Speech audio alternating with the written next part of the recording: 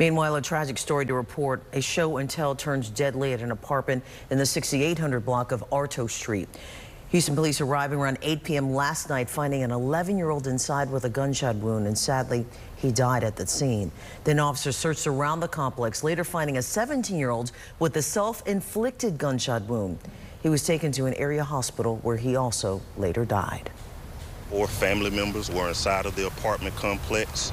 Uh, one of the family ranging from the ages of 10 to 17. Uh, from what we're getting, they, it was said that the 17-year-old produced a weapon basically possibly trying to show it off to the other individuals.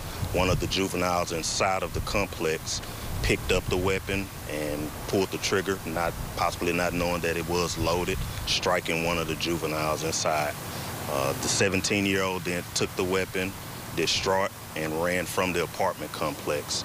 Uh, he ran to the wooded area. Some of the other family members attempted to speak with him because he was upset about what had just occurred. Uh, he fired off several more rounds, striking one of the apartment units here. No one was injured in that portion. Uh, he then turned the weapon on himself and, uh, and shot himself back in that wooded area. This investigation continues.